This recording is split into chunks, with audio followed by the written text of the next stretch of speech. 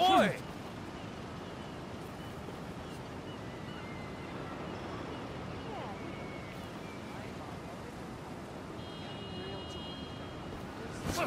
Gotta pick up some kalbi and bulgogi for tomorrow night. Oh, maybe some dumplings too.